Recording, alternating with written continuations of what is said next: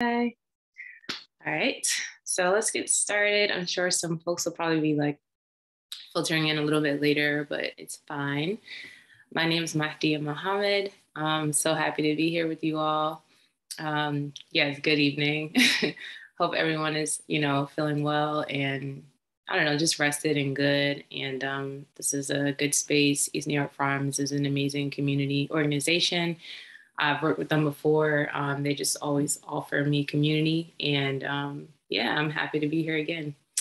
So without further ado, I'm a fashion designer. I also name myself a fabric alchemist. Um, reason being that, of course, like the actual process of alchemy, which is transforming one material into another, um, that is something I've learned to do with fabric, where I take discarded clothing that is either 100% cotton, linen, or wool, and I transform the discarded items into something new. So I'll give you an example. I might go to like a Salvation Army, a Goodwill, or a thrift store and grab like five to six men's cotton t-shirts and then turn that into like a dress or like a pair of sweatpants or like um, a jacket or something like that.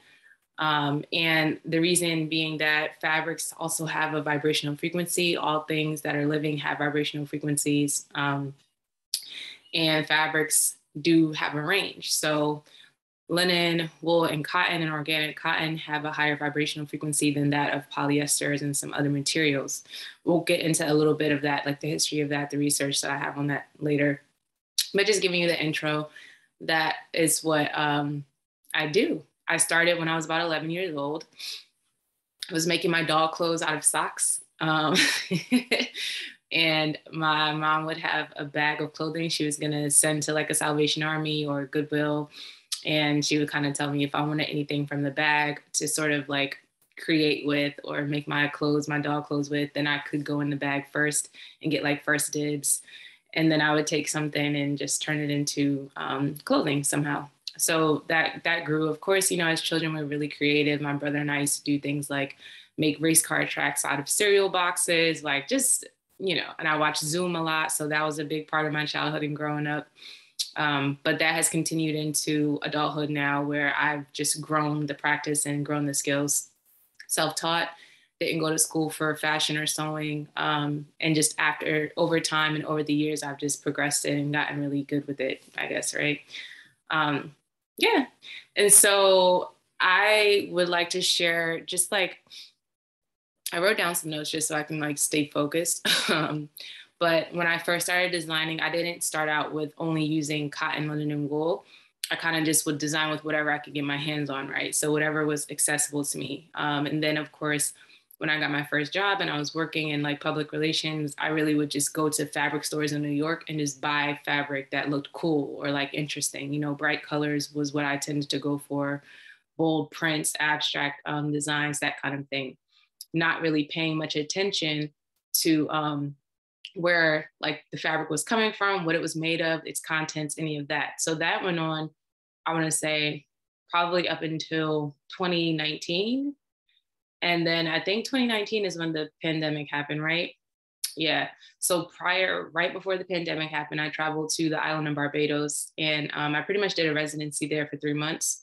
When I was there on the island, I spent a lot of time, obviously, in natural resources, um, walking to the beach every morning at 5 a.m. to swim, um, just being around the people, like fresh fruit, fresh vegetables, going to the markets every day, that kind of thing. And then being honored and um, privileged to work with one of the elders on the island. His name was Adelabu, and he was a loom artist. So loom work is essentially how fashion starts. You know, it's like the fabric starts there. You get um, cotton from the plant, or you get the flax from the plant and then it gets turned into the actual thread and then that gets turned into the actual fabric. So he invited me to his studio and I got to see him working and that completely changed my understanding and idea of like the origins of fashion, where things start and how they go. Uh, I grew more respect for the practice and immediately just wanted to dive deeper into that whole world of like natural resources, right? So while I was there on the island, there was like one or two fabric stores and one of the artists wanted to do a collaboration with me and the funny thing is um, I just was like, felt, I felt really limited because I was so used to just being in New York and being able to go to these fabric stores that had this plethora of options. But it's not really that you're limited, it's just that you're more resourceful when you're in a place like that. You know what I mean? And you almost forget and take for granted how much is at your disposal in countries like um, the USA, right? So anyway, we went to the fabric store. I was supposed to be grabbing fabric for the collection. And while I was there, I just realized like there were so many polyesters and stretch this and stretch that and lycras and spandexes. And I was like, let's just keep this really simple. The artist was a painter. So I was like, let me just get something that's similar to canvas that you can paint on, like, you know, the clothing. So I was going for organic cotton, cotton and linen at the time. And I was like, we're on an island, it's hot, so it needs to be breathable, right? So I ended up grabbing those fabrics. And then with that, I just would create simple, really simple silhouettes, like an A-line skirt or like a top that ties in the back or oversized pants that can be like adjusted, you know, to be worn multiple ways, that kind of thing. Um, but still breezy, airy, comfortable things that you can wear on the island. And then uh, the artist painted on them and then we did an exhibit. So flash forward, I came back to the States and I was thinking I was just going to come back and, you know, dive back into doing everything. I was teaching in Harlem at the time. I was teaching high schoolers sewing and fashion. And when I got back, the pandemic hit. so they shut down the schools, they shut down everything, as you all remember. Um, it was a trying time for everybody. But what I ended up doing was sort of going within and just going deeper into that research of what was pulling me towards working with more natural materials, right? So I started doing my research. Um, I got heavier into it. And then while I was home, I decided to do a collection only using linen, wool, and a fabric called lyocell. And I got a gift to take back to the States with me from the elder I mentioned who was on the island. He sent me back with a bunch of scrapped um, loom pieces that he had done. So he kind of gave me those and he was like, do whatever you want with this. And I was like, I'm going to incorporate this into my next collection, you know? So that's what I did. And those pieces were made out of wool, um, Sea Island cotton, which is a very rare cotton things like that. So I incorporated that into the collection and was like, I can't put this on polyester. Like this is so natural and the level is here. You know, I didn't want to cheapen it. So I was like, I'm gonna stick with doing it with the cottons. Um, like I said, the lyocell, the linen, the wools, that kind of thing. So that's what I did. So that was the start of how I got into only using the natural materials, right? Um, in the midst of creating the collection, I was going through a lot, but I was also doing a lot of the research. So that's what pulled me in. Um, and then I would just say that. So, on the research side, I don't want to bore you, but I'll go into it a little bit about what I found and like the research that people did that kind of like led me that way. Um, so in 2003, there was a study that was done by um, a doctor who was testing the frequencies of fabric. And he found that the human body, the healthy human body um, at its optimal health has a frequency of 100, right? Um, 100 is also the same registered vibrational frequency as organic cotton. So there are machines that engineers and agriculture environmentalists use to test um, like their, you know, their crops prior to doing whatever they have to do for the season. Um, and there's a machine called an Ag-Environ machine that was used to do this as well. Um, and it was initially created to analyze the signature frequencies of agricultural commodities to aid the farmers in determining the right time of harvest growth. So I isn't that interesting? So that's that was the initial start of it. But of course, linen comes from the flax plant. So it's natural. So it kind of happened, I guess, by mistake in a way, where they ended up finding out that the frequency of linen is 5,000. So linen and wool both have a frequency of 5,000 and they're considered super fabrics because of this. Um, and when you wear the fabrics that have the higher vibrational frequencies, they raise your body's natural frequency. So what it ends up doing is um, having a healing, calming, and soothing effect. And what ends up happening is you might, you know, it, it's better for your skin. Um, it's better for you to sleep on these fabrics um, and just better for you to just have them in your environment and on your body, you know, throughout the day. Polyester has a lower frequency. I believe polyester is um, anywhere from like 15 to 45 frequency. And when the human body is sick or diseased, it's usually at a frequency of about 15 to 20. So that's when a, a body registers low frequency and when it's like close, I wouldn't say close to death. Um, but so that that research is what led me to go deeper into it. And then I started to think about so many other things. Like I'll just give you a few other facts. Um, they were talking about how uh, a physician um, so the existence of the energy using the plant leaves, that's how they figured it out, right? Using the oscilloscope, which is another machine that they use to test it. So one of the physicians discovered that flax cloth acts as an antenna for the energy. He found that when pure flax cloth was put over a wound or local pain, it greatly accelerated the healing process. He also used the cloth as an antenna for his oscilloscope. So to sort of like balance the frequencies and vibrations. So it's not like some like random things that I'm like, you know, coming up with and making up. It's actually things that have been tested by scientists, um, by agriculturalists, farmers, that kind of thing. So it's already been happening like years ago. It's just that people haven't really been talking about it as much, right?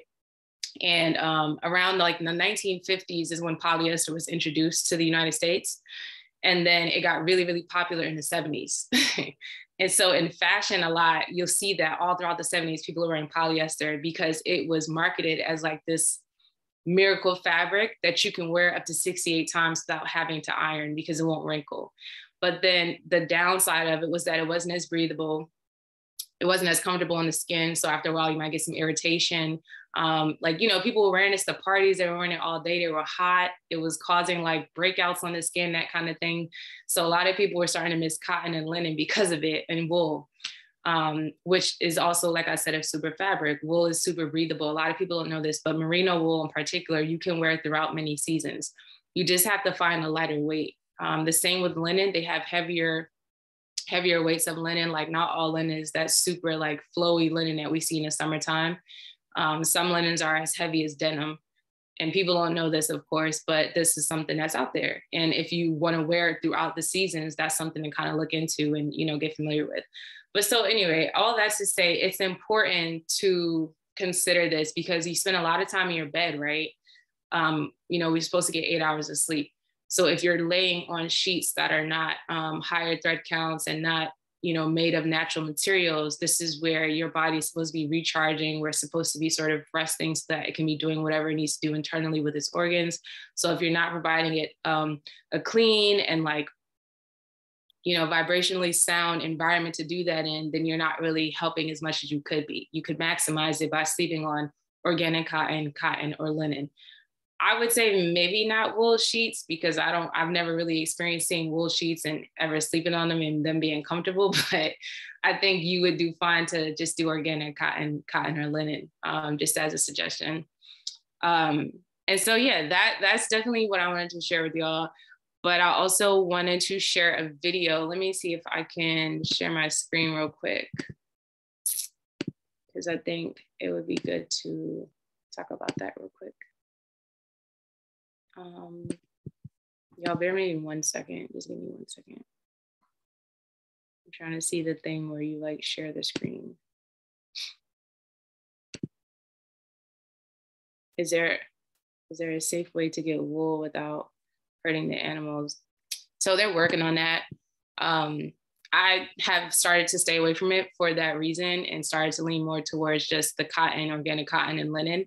Um, but a lot of things, as you know, are starting to happen in labs now, and they're trying to find ways to maximize whatever the fibers are and kind of like recreate them so that they're not taking it from um, like live animals. But in a way, when you think about it, it's attached to a live living thing, you know? So I, I don't really, I haven't really been dealing with the wool thing like that.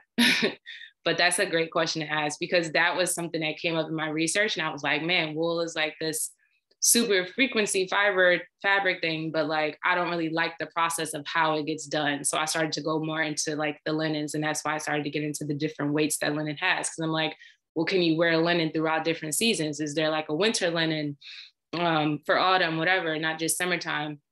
And that's when I found the heavier weights, like I said, the denims, that kind of thing. So, yeah. Oh, I see another question. Saw your work in Refashion Week as a designer. I was a stylist for the event and have just started transitioning to natural dye work over synthetic colors in my practice. Oh, on the Oh, cool. That's what's up. I like to hear that. That makes me happy. Yes, I remember you. You're amazing. Hi.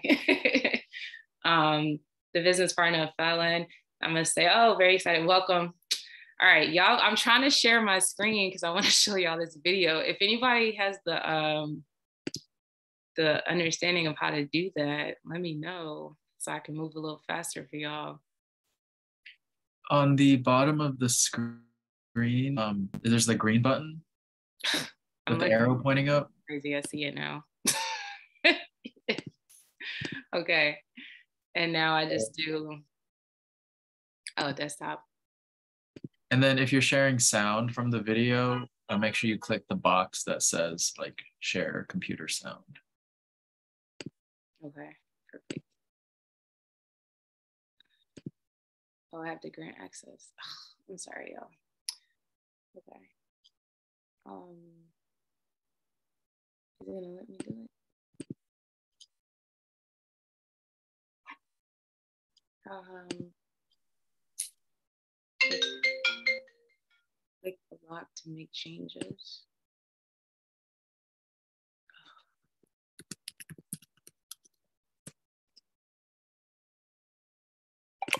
There we go.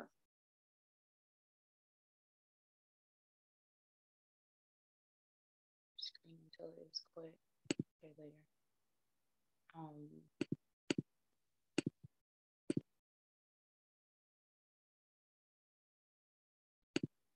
oh, okay. It's just saying it won't be able to. Okay. So let's see. I should be able to do it now. Let's try again. I appreciate y'all's patience.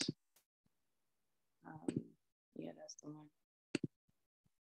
So this is just where I'm talking about um, that first collection I mentioned that I did, where I only see my screen. Hit me with a thumbs up if you can. Okay, perfect. Here we go. So the fabric that was predominantly used throughout this collection is linen. Um, and linen is actually a healing fiber. It reflects light. Um, and it actually has a vibrational frequency of 5,000, which is considered extremely high for fabrics. Um, the flax plant, which the linen derives from, is where this comes from. And it's really interesting because 50 is considered chronic disease or like when the body is unwell.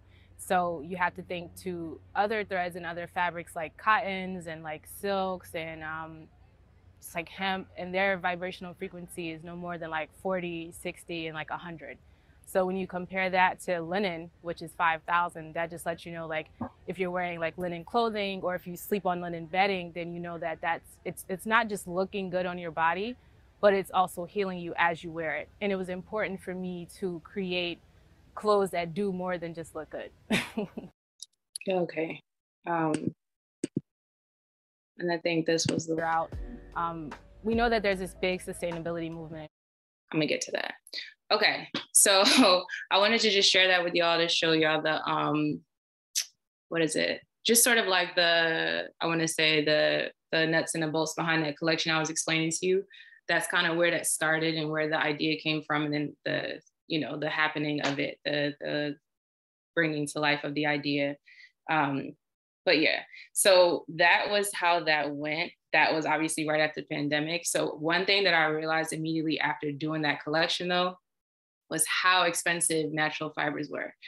Um, coming from a background of, like I said, initially designing with whatever I could get my hands on, I was obviously using polyester, obviously using whatever was cheap. I would go in the fabric store, and if something was a 199 per yard, I was buying it and using it. Um, and then of course when i visited the island of barbados that changed for me. So i wanted to come back and really do intentional work. And i was like i don't want to just make clothes just because i can make clothes. I want to make clothes that heal people's bodies as they wear them and they do more for people as they wear them. You know i feel like so many of us just need healing. And i feel like we always isolate healing to just like medical or whatever the case may be but it it goes into so many other aspects of our lives in so many realms right so i figured why not with fashion um, and I ended up realizing I'm like, this is so expensive. It was like almost like 15, 20 dollars a yard for fabric for linen, you know.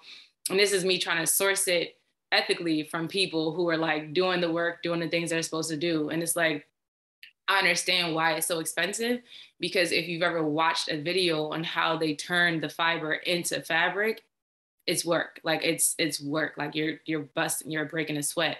So you you can't really say that it's fair to charge less for that, right? And I think in America we're also very used to paying like cents on a dollar for like serious labor, right?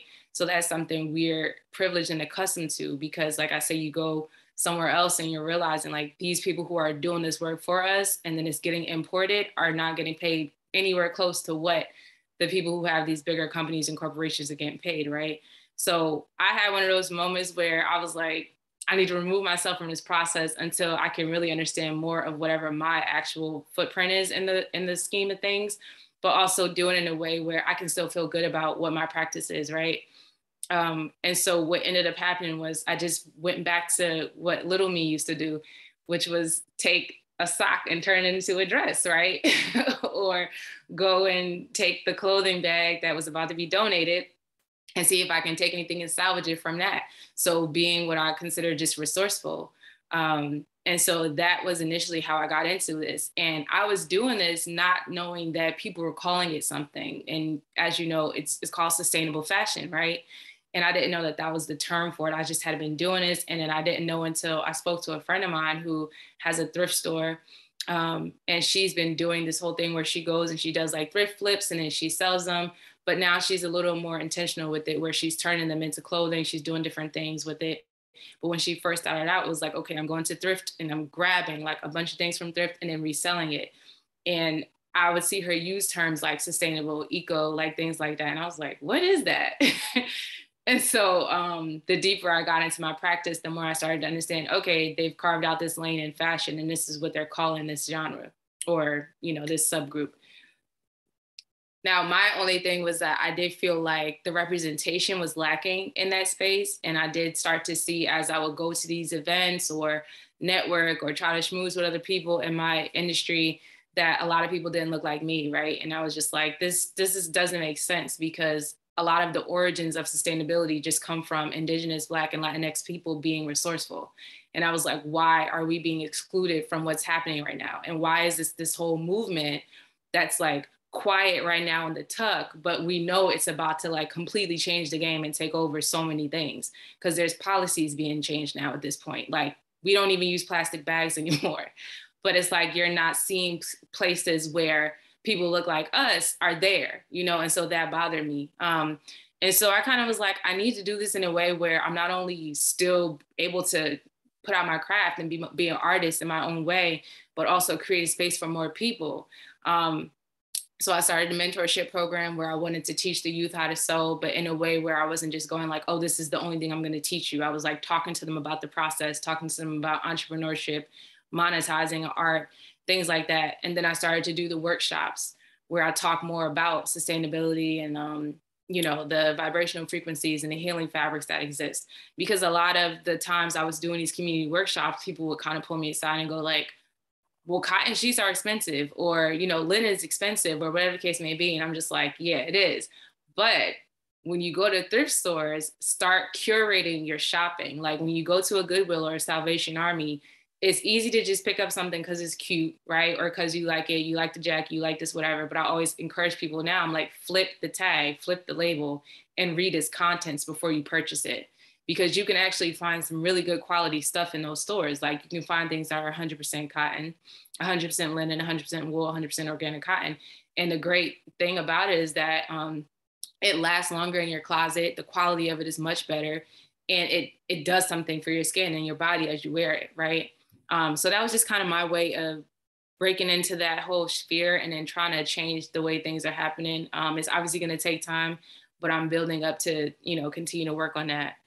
But not to get too far away from obviously talking about the research, I'm going to come back in and just see if you guys have um, any questions that I've been missing too. Okay, no. I see somebody said, um, I received the information in workshop. Oh, okay. Welcome everybody. I'm just now reading some of the people coming in.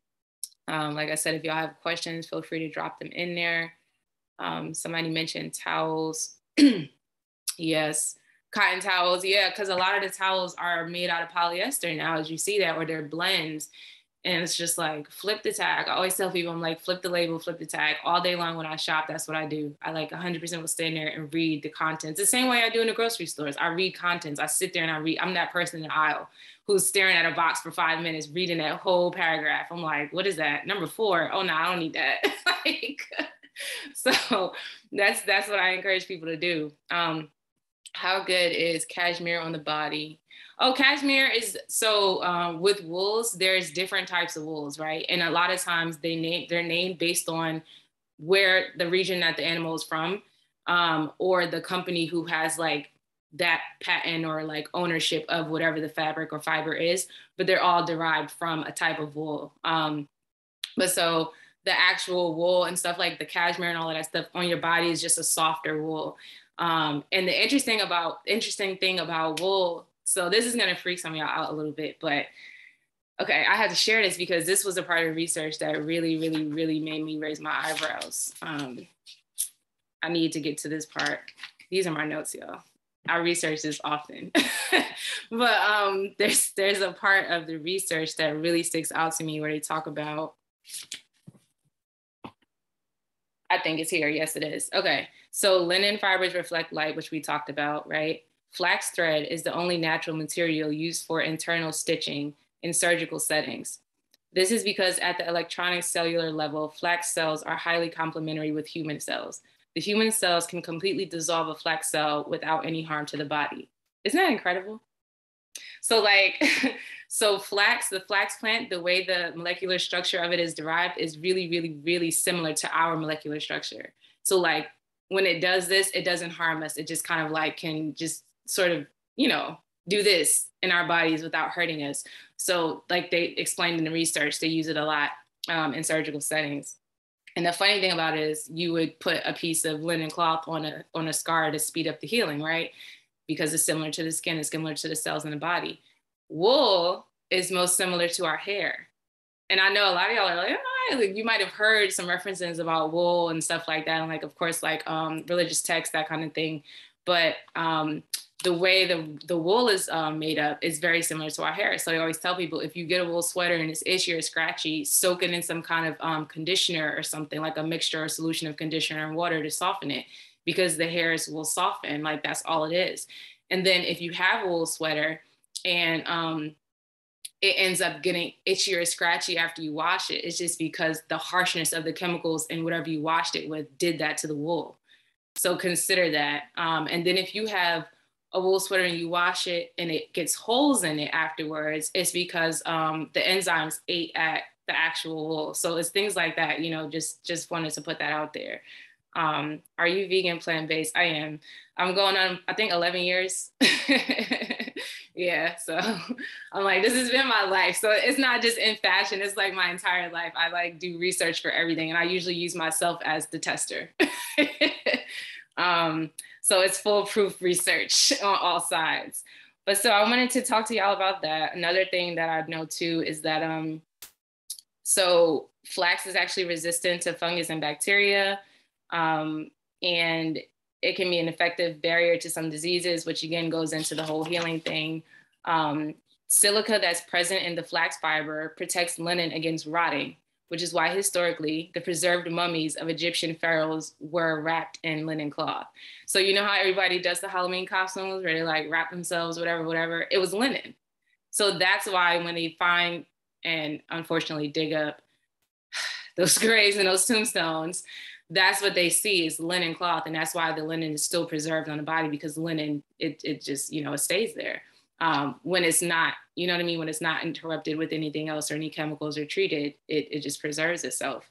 Um, and you know i already i said linen contains a vibrational frequency of 5000 um, this is why wearing linen and having linen bedding would have a healing qualitative significance uh, greater than that of hemp cotton and silk uh, which only states at 40, 80, and 100. So hemp has a, re- a frequency of 40 because I know a lot of people are starting to like look into hemp fibers because it is popular. Um, silk has a frequency of 80 and cotton of 100. Um, organic cotton is 150, so it's higher.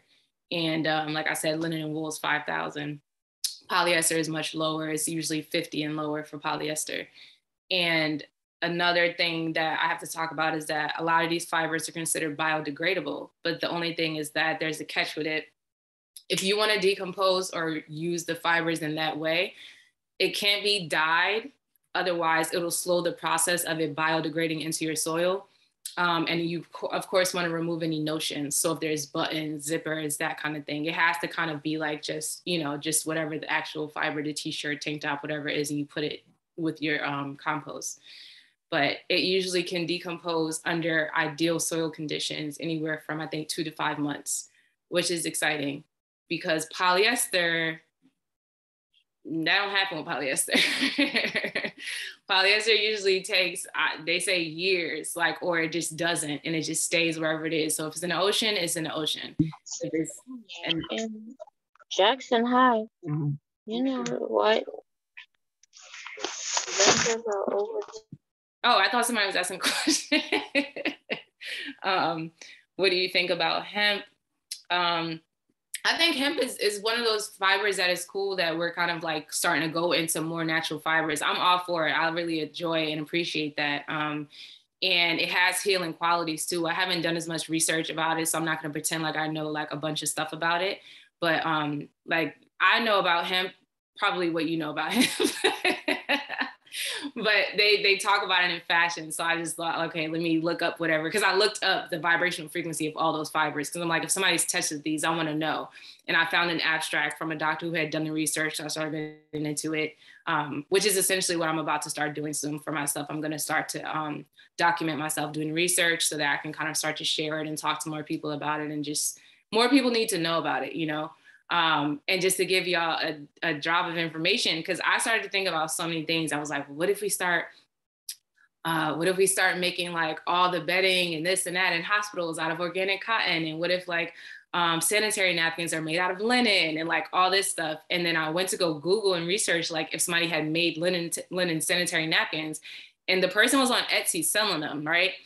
And I was this close to buying it. I like cached the link to go back to it. And then a year later, I go back to it and they had some like notice saying that like the FDA shut them down. And I was like, okay. so, I mean, that just tells you, you know, it's like when you start to do that research and you see things like that, you're like, I think I'm going the right direction. it doesn't scare me. So yeah, that's how I'm looking at that. Um, and another thing that I really want to do is start to remind people, especially people in the fashion industry, like we wouldn't have a fashion industry if it wasn't for like the farmers.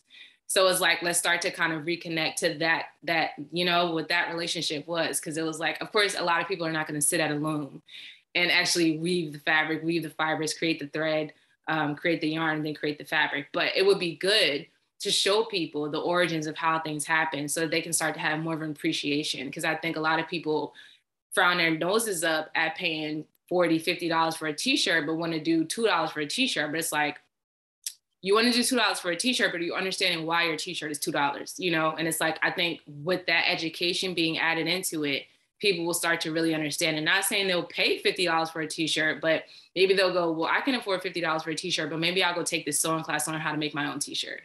And so that's why I do things like offer sewing classes, stuff like that. Cause I'm like, yeah, you can tell me my stuff is too expensive and that's fine. But it's quality, it's ethical, it's handmade with these two hands. You know what I mean? I'm like, nobody's harmed in the process. Um, it doesn't use a lot of water or any natural resources that's like harming the environment. But if this is not in your budget, I respect and understand that. Here's this class.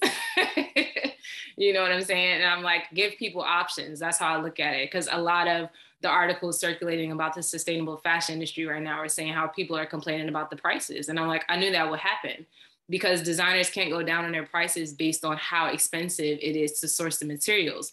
But my thing is, designers can do things like have partnerships and deals with like the Salvation Armies, the Goodwills, um, the thrift stores, where maybe we get the damaged things that have stains and holes and stuff like that, and then we turn those things into clothing for like the communities, you know obviously it's going to take some legwork and some time to get to that point but that's just you know where my brain goes when i think about what we could do once everybody's educated about what's happening and like just more self-aware, more conscious of what they're doing in the environment, that kind of thing.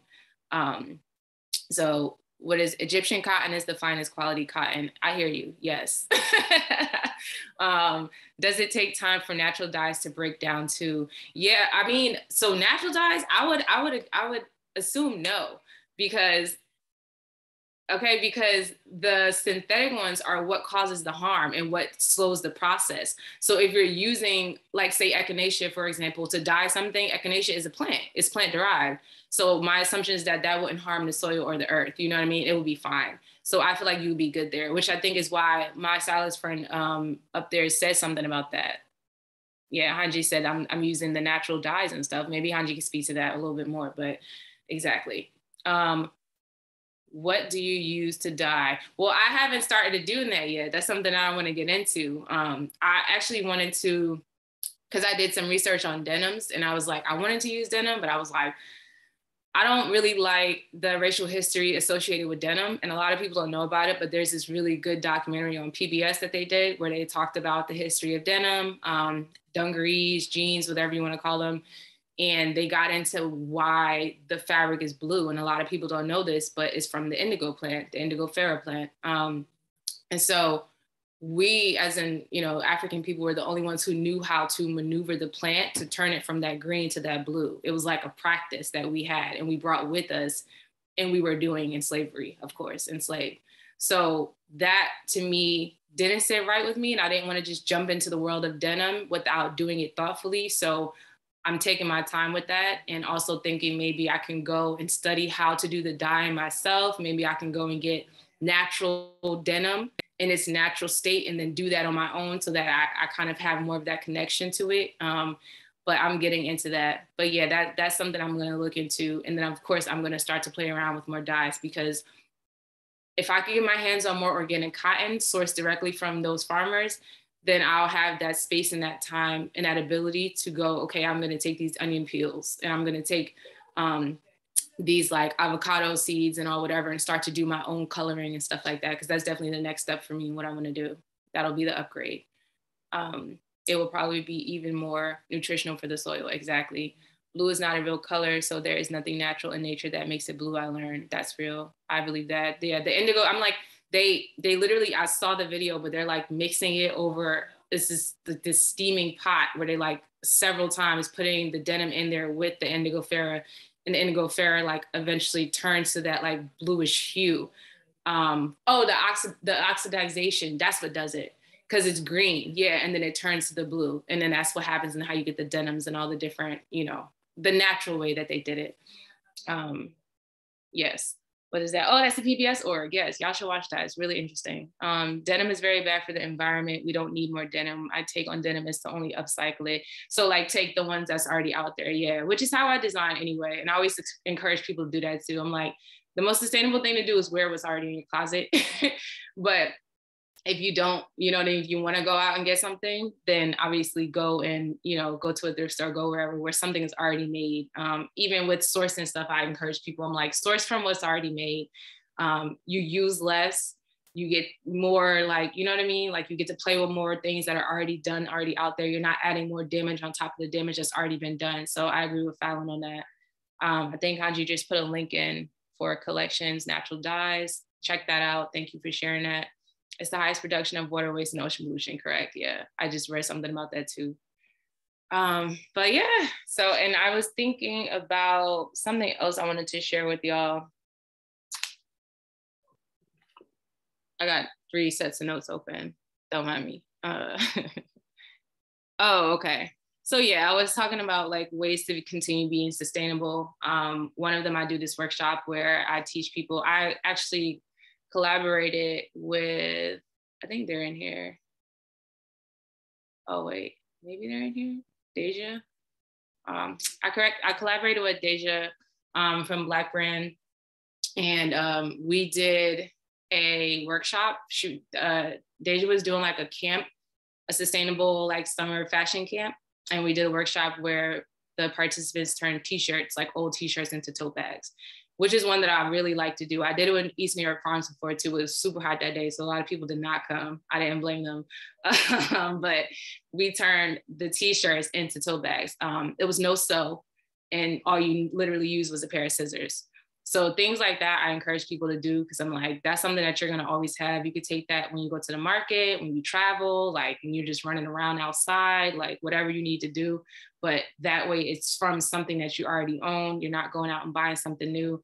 Um, and then you can even take the scraps, for example, like the sleeves from the t-shirt, create like a scrunchie, a headband, like so many things with that, you know. So that's that's something I do with people at that workshop. Uh, and then just getting more into it, like I said, I teach people more about the fabrics thing because, like I said, the more you know, it's like you start to care a little bit more and become more self aware. Um, but yeah, I feel like I would like to allow y'all to ask any questions or like share if you have anything to say that you want to say about it, like drop it in the chat or do the thing where you like raise your hand so that it tells you. Um, but that was the gist of things for the sustainability, the fabric healing. I'm trying to make sure I covered everything. and I know it's not the seven o'clock mark yet, but I was trying to leave some room for just like genuine, like general conversation. Um, because this is definitely something I could just keep talking about. I'm very passionate about this. The notes are like crazy. um, yeah. Well, do y'all want to hear some more research? Oh, somebody's raising their hand. Okay. Hello, can you hear me? I can hear you, Tony. Hi. Hi. All right, I'm driving, but I just want to um, say, I want to touch on when you talked about um, you thinking that it's more sustainable when it comes to buying what's already out there versus like having it made. And I, I kind of wanted to ask, why do you feel that way? Um, especially if you're starting a brand like you usually want to start with like new material or at least source out like a linen or something that's fresh and that you could just make your own if you're selling um, multiple units of that garment. So like would you still consider it sustainable if a person was to find you know um i guess natural fiber fabric at a decent cost rather than just grab what's on the market already. If you if that makes sense, like I, I feel like all I'm trying to get is that like we don't want to create waste, right? And um I guess some people have their own definition of what is sustainable or not. Like if you grab things on the market, do you how do you feel like that's more sustainable mm-hmm. than starting like fresh? So I think that there's definitely two layers to it. Um, okay. One thing is that in the sustainability world, it's still a wild, wild west kind of in a way where a lot of people haven't quite defined what it means to be sustainable and what it doesn't mean, right? Right. At the same time, it's like fashion is one of the biggest contributors to waste right now, right? And it's like we need to wear clothes, but do we need to wear new clothes all the time, right? And yeah the second level of that is that I understand and I sympathize with being a designer and like I want to give my clients and my customers new things and nice things, but also when I'm sourcing things, if I have an idea, won't mm-hmm. it limit me if I'm going and only picking from certain things? So that's why it comes in where I kind of encourage and challenge designers to like try to step outside the thinking of like doing things the way that we've been doing it. So like collections, right? Seasonal collections, right. Not sustainable because um, you think about how much stuff doesn't get bought up and how much stuff doesn't get used. But then yeah. in the process of making it, we think about how many natural resources and materials we deplete in the process of doing it. And then for what? Because a lot of it doesn't even get purchased, you know? So if you sell out, that's great. But also I'm like start to think about different ways we can do things and like break down these systems that have kind of been in place because they've not been like contributing or helping the planet or environment, you know? So like there's ways around it. We just have to become more like um, creative and more resourceful to do it. So if you want to do a linen collection, maybe go to a thrift store and get 2XL, 3XL men's linen shirts you know right. I mean? Because then you have this really big stretch of fabric that you can use and do things with versus going and getting it on a boat, you know? Yeah, I get what you're saying. Yeah. Like just break I, having a new system of doing things rather than, you know, follow the traditional way. That yeah, makes like, sense. That's more sustainable. Okay. Yeah, like try something new, like check it out. If it doesn't work for you, fine, but like at least try it out and see like, is there a way I can do this that doesn't involve the production process? Because we also know a lot of the production process is shady. You know what I mean? So it's like, yeah, again, we're far removed and that's a privilege. But imagine actually going to the factories that we're like doing this business with, quote unquote, and seeing what their conditions are like. I think that would change a lot of how we do things. Like, great, yeah, you can get 50 sweatshirts for whatever the price is that they're giving you but like who's making the sweatshirts how are they being treated where are they coming from like what are these people yeah. being paid? Like you know what i mean? Like also how are the the items being treated? Like as in like what are they doing chemically to the clothing before it's sent and whatever the case may be? There's so many different layers of it you know? So like breaking down the actual systems and the steps it takes to get there like for sure will like help to kind of like push that creativity and like kind of wonder more about it you know yeah, I agree. I, I totally agree on that. And it opened my eyes up as well because it's like I've always heard that and I just like, well, how can I go like I know how to go about it, but you know, I'm growing up in this world nowadays, a lot of things are you're getting it from the fabric store and we're used to just yeah. having new fabric, you know? Um, yeah. so it's a good way to think of how to limit just even the production of that and just recycling and reusing what is currently out there on a consistent basis. Exactly. Thank, thank you. Yeah, you're welcome. I saw two more hands. If y'all have questions, feel free to put your hands up. If not, it's okay too. Um, but yeah, that was a really good I think Rose has uh, their hand up. Yeah. Hi. Oh, yeah. Hi, Rose.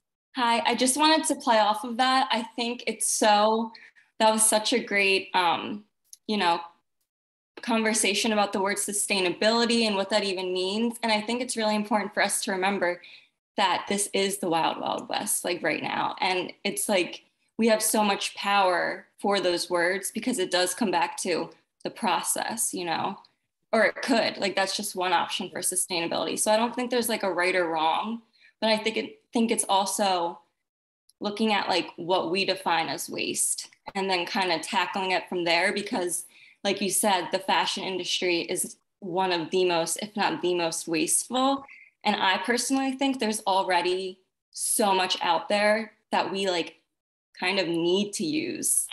Yeah. so but it's so exciting to as well have new and use and having new that's made in a new way. So yeah and i wouldn't be honest if i didn't talk about like the constant internal struggle that I have as a designer, like knowing that this industry contributes so much to it. You know what I mean? It's like always also me being the artist that I am, like that's how I express my art, right? It's like by creating, but I also know like I can't just keep giving, putting stuff out, putting stuff out. It's like, why? Like, why do I need to keep doing that? That's just things in excess for what? Um, but at the same time, I'm like, if I'm going to do this until I figure out other things or whatever like let me do this in the most sustainable way i can think of or the most resourceful way i can think of you know and that's why i was just like i went back to what little me used to do just going to those thrift stores figuring it out cutting things up tying it safety pinning it like you know like and just just getting like creative with it. But like i said i wanted to figure out a way to give other people options and, and ways to learn about it too. So that's why I started doing the workshops and teaching the sewing and like going into the schools. And I created a curriculum um, when I was at Harlem Children's Zone where I taught fashion and sewing, but the entire curriculum was sustainable. And they didn't even know that was based on sustainability. And it's so funny because like years later, I have students and they're like, Miss Dia, you had us doing sustainable fashion and, and we wasn't even, I was like, I know. Isn't that great?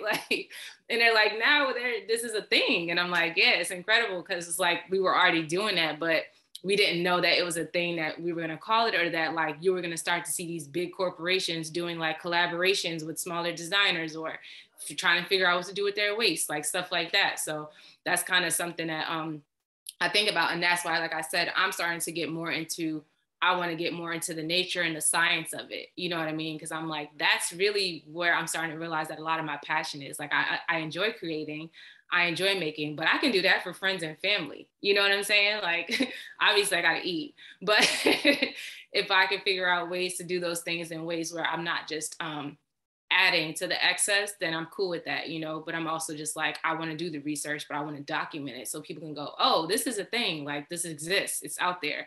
Because I looked up those people who were done the research and I just can't find anything else about them. And I'm just like, they just fell off, I guess. Like, you know, they didn't do anything with the information. Or maybe they did. Dun dun dun. But I don't control that. You know, it's just like this is what I'm doing. I'm out here like figuring it out. Um, but yeah, I, I, like that y'all are asking the questions. Like, this is a judge free zone. Like, feel free to say what's on your mind. Like, if you have questions about things that I can answer, I'll tell you. If I don't know the answer, I'll also tell you I don't know the answer. And if I can direct you to a resource, I'll do that too. Um, because we're all learning here still, you know. But I do thank all y'all for joining me and like just listening to this and like wanting to share this this conversation and build on this, you know. Yes. Hello, how are you? I'm well. Thank you. you. I'm doing good. Thank you for all this information. Um, I have a um, specific question about um, like like buttons and threads and zippers and stuff because when I've been doing the research, a lot of the, those materials are not sustainable. You know, I know you have to um, when you said remove them to compost, but that you know what what do you use kind of to make it just like because if they keep making those plastic buttons it's a bad thing as well. It's like what are you using for zippers buttons thread uh, which is like crazy that it's like so many things to think about. I know it just ah. keeps going. I love that you asked that question because that's where I, I'm at right now in my process. A lot of people have been like, you haven't put anything out. I'm like, y'all have no idea the turmoil, the internal turmoil that I'm going through. Like I'm trying to figure out the best way to just get better every time because you learn the information you can't unlearn it once you know it. You know, I'm like, I'm not gonna backtrack and give you all this thing that, you know. So my older stuff, you're gonna see zippers and this and that. But like the newer things I want to put out, I'm starting to go towards saying, like, how can I add elastic to this waistband without adding elastic to this waistband? And like, so I'll give you an example. A pair of joggers I want to make, right? So for the waist, I'm like, I'll do just the regular fold over waist. And then I'll do, um, I'll top stitch two stitches along the waist, right? So then that way you have like that space in between, you know, where you would pull the drawstring through. And instead of pulling elastic or a drawstring through, I'm just gonna fold over um, a longer strip of fabric and pull that through and see if I can get that same drawstring effect with it. So then that way the entire garment is cotton. You know what I mean? Like so I'm looking at things like that or um so in the technique too.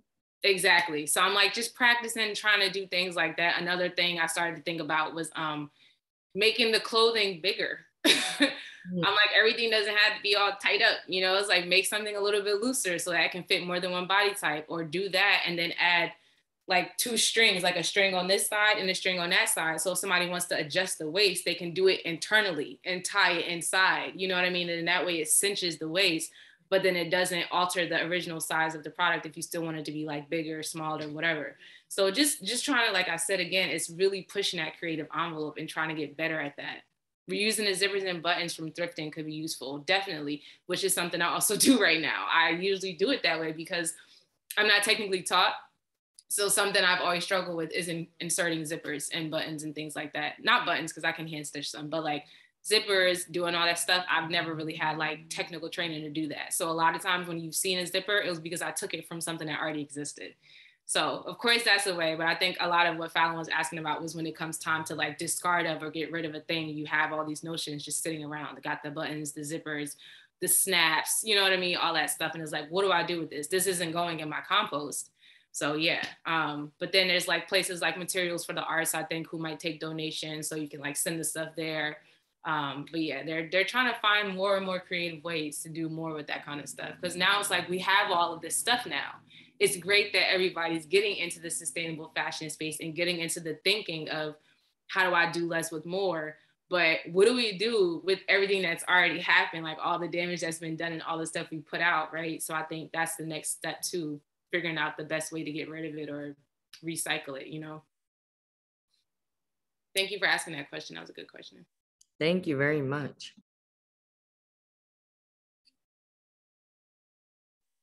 I was gonna say, I think we are nearing the close. If anybody has any more questions, let me know. Um, but I've enjoyed this time with y'all and uh, things that I have going on, I can share with you. Uh, one is obviously the research. I'm looking to get into that. Um, it was fun, right? Thank you. you you rock.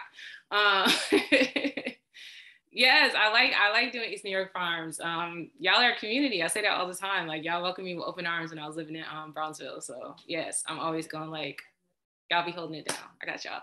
Um, thank you, Iva. But so things that I'm working on, I'm working right now. I'm currently actually part time. Like I'm, a lot of people think I'm full time designing, and I'm not. I'm still working a job and also doing this. The job that I'm doing, um, fortunately, is still in the realm of what I'm interested in doing. Right now, I'm the training operations manager at a sustainable fashion tech startup. They're based in Brooklyn, and what they're trying to do initially when they started, they were trying to revolutionize the way people get tailoring done. So instead of having to like leave the house and go to the tailor, it's like you could do a virtual fit with someone. They send you like this sticker package thing where say you want to get a pair of pants hemmed, you would, you know, stick the sticker on the side and like mark where you want it done and then send it back in. And they send you the packaging, everything is done that way. Um, and that's how it works. But so they're now moving into the space of working with other companies to take their damaged items and like fix them, like tailor and like, you know, clean them up or whatever. Cause it's like you think about companies like Nike, how many warm ups do they have where the zipper is a little janky so they didn't put it out on the floor? You know, so stuff like that. And the, the company I'm with now, they're trying to take things like that, say we can fix the zipper, you can put it back out on the floor and sell it. You know what I mean? And maybe sell it at a discounted rate at that. So that's what they're doing. And then the next step in the next phase is going to be upcycling, which is what I do. Um, so I'll be working with them to sort of figure out what it looks like to start collaborating with more of these bigger brands and stuff to do that kind of thing and do that rollout. Um, and it's great because I, like I said again, I'm doing what I already do with them, um, and I have agency to kind of like help them, like you know, spirit them into that that way of like doing things that way. So I'm consulting and pretty much like teaching them how to get into that space. Um, like I said, it's enjoyable work, but on the other hand, I'm also still doing like my brand and my business stuff. So it's been good with that. And then I'm also still trying to get back into the mentorship and the teaching aspect, but I just want to do everything right. You know, we're here, we have to do everything legally correct. so that's been a part of it. Um, I've been gracious enough to have people open up their spaces to me to do teaching, to do workshops, but I would also like to sort of organize the ideas. Like I want to build curriculums, I want to share those curriculums, that kind of thing something I'm working on that Fallon is probably familiar with because this is something I reached out to Fallon originally a long time ago is my Reach the World campaign, the shirt that you're seeing now. Um, and Fallon, I think you'll be happy to hear this, but when I first started, the idea was literally to just make these t-shirts and have people who are in the community like Fallon, they're doing amazing things in their community, um, to wear the shirts while they're doing work. And then I was like, I need to do more with this idea because, you know, I'm a Sag. so then I thought through, I thought it through, and I was like, um, I want proceeds from the sale to go towards um, community-based and Black-owned schools in inner cities. Um, so not just New Jersey, not just New York, but like Atlanta, Philly, all these places, right? Um, and so initially, the next step was trying to figure out, okay, what schools? So I did my research, and I've composed this list of um, not only community-based learning centers and schools, but also organizations that do things like um, uh, fund transitions for um, for non-binary like young women and men, like things like that. So I wanted to make sure that I'm everybody's getting something, you know. So that was the time that I was taking to do that. So I'm building out the Reach the World campaign. Um, I have my list, and instead of it just being T-shirts, I'll be releasing um, sets. So like um, patchwork, like joggers and like long sleeve shirts, and then it'll have the Reach the World embroidered on it. Because I'm like, if I'm gonna have a product that's gonna be like, like give people something, some sleeves, some pants, like you know, and let people know that literally a half of the sale is gonna go. Um, and there'll be a drop down for them to choose from the list to choose which school or which um, organization that the proceeds go to. So like I said, I'm working through that, um, getting the paperwork done, and then Fallon will be hearing from me soon again. We're gonna get this back on the road. But um, yeah, yeah. So that's something that I'm focusing on. I'm I'm a lot more focused on community stuff right now. I'm like I said again, I always will enjoy creating and making. Um, but the thing that's pulling me and pulling my heartstrings is definitely just community and making and understanding like where I fall in the process of things. So that's what people are seeing a lot more of. Um, and opportunities are hitting me. I'm, I'm on Upcycle Nation, which is a show on Fuse TV. They just released the first episode, which is so cool. It's upcyclers who compete, something like Project Runway, but for upcyclers.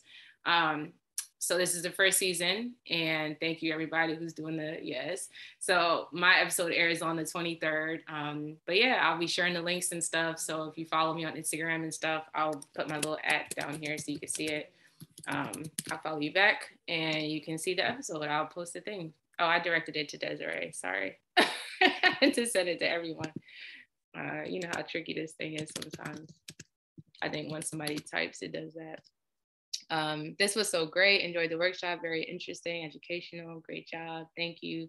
We need these spaces for sustainable community. Would love to do more for sure.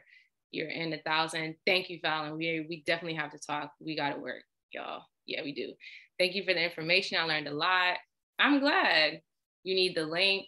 Oh, okay. To the to the um to the Fuse TV thing. Yeah. Oh, matter of fact, can we put it in right now while we're talking about it? so that I don't lose you. That's amazing. I will. Lo- I need a show like that. It's really cool, and you you can watch it. I think online. Um, I don't know if you have to download the app. You know how everything's on streaming services now. but I'll I'll just drop the link in here, and y'all do what y'all need to do with it. The first episode is out. I'm not on the show until the 23rd, but I still encourage y'all to watch the episodes because they're just really interesting. And I think it's dope that there's finally a platform for upcycling designers, you know because everybody's been doing this for so long. Like this isn't new. Like our grandmas was doing this. like they've been resourceful. That's why I'm just like everybody using the word sustainable. I'm always like resourceful. like that's what we're doing. We've been doing this. So yeah. Um, but yeah, I'm working on that. And then of course, like I said, I call what I do fabric alchemy. So I'm working to carve that out and make my own lane in the fashion industry with it being that, but making it so much more about just other things outside of just being clothes and fashion. Um, but yeah, thank you everyone for joining. I put my Instagram, I'll put the link to the thing. And yes, I have the quilts. Ooh, I want those.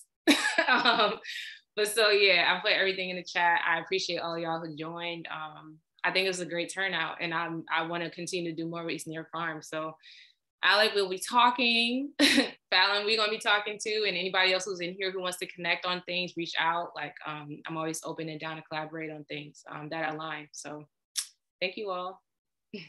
thank you so much. Peace. Thank you. See you later, Rosie.